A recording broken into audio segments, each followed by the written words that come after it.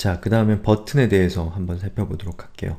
자, 이 버튼 같은 경우는 그 트위터가 기본적으로 그 디폴트 버튼을 여러분들이 계속해서 봐왔지만 이 디폴트 버튼 외에 여러분이 버튼의 디자인이나 이런 것들을 자기가 사용하고자 하는 그 버튼의 어떤 맥락에 따라서 디자인을 지정할 수가 있습니다.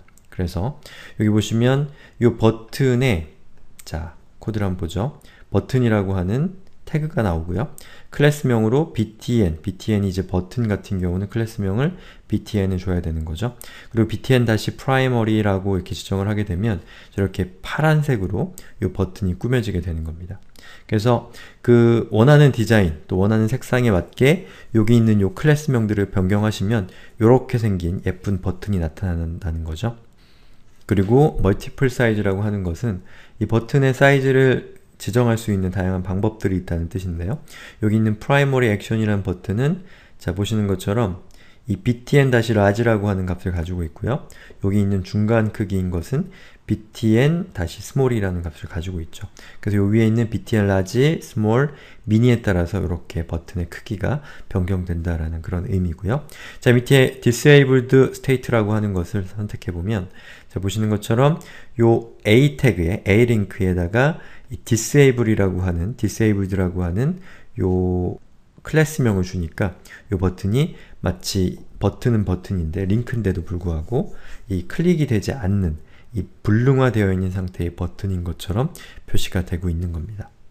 자, 그 다음에 부트스트랩에서 아이콘을 사용하는 방법인데요. 여기 보시면 provide by Glyphicons 이게 이렇게 제대로 읽는 건지 잘 모르겠네요. 여기에 들어가 보시면 이 Glyphicons라고 하는 이 서비스에서 제공하는 이 400개 정도에 달하는 이 무료 아이콘들이 있습니다.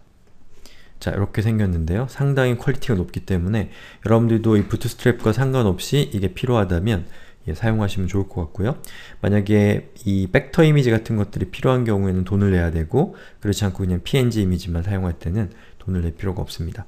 자 다시 본론으로 돌아와서 여기 보시면 여기 텍스트가 이렇게 나오는데요. 그 각각의 텍스트 앞에 이렇게 조그만 아이콘이 붙어 있죠. 그럼 이것을 어떻게 사용하는지를 보면 자 여기서 오른쪽 클릭해서 제가 icon star라고 하는 부분을 열어볼게요. li element가 오죠. 그 얘기는 뭐냐면 여기 있는 요 각각의 항목들이 이 li 엘리먼트, ul과 li 엘리먼트의 조합을 통해서 list up 되어 있다는 뜻이죠.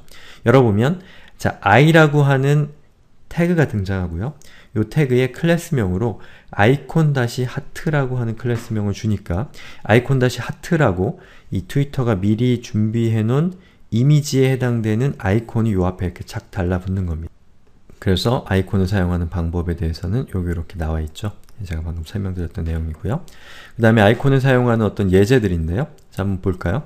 자, 여기서 inspect를 한번 열어보면 자, 여기 A-링크가 나오죠. 근데 A-링크가 btn이라는 class를 갖고 있기 때문에 버튼처럼 표시가 되는 겁니다. 그리고 이 버튼을 감싸, 버튼들을 감싸는 그룹이 있으니까 이렇게 버튼이 이렇게 grouping된 예쁘게 표시가 되는 거죠. 그 밑에 보시면 자, 이 A-링크와 A-링크 태그의 컨텐츠 영역으로 i라는 태그가 등장하고요. 이 태그에는 이 class명으로 이렇게 생긴 어, 이미지가 아이콘으로 이렇게 부여가 된 거죠.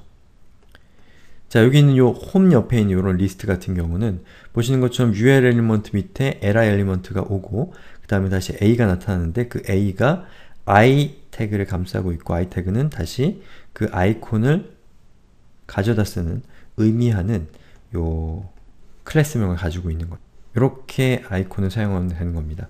나머지 제가 다 일일이 설명드릴 필요는 없겠죠. 자 그래서 지금까지 베이스 CSS라는 것에 대해서 알아봤는데요. 이 베이스 CSS는 기본적으로 트위터가 이 제공하는 디자인이 어떤 모양인지 또 그것들을 잘 활용하기 위해서는 어떻게 사용하면 되는지에 대한 내용이었습니다.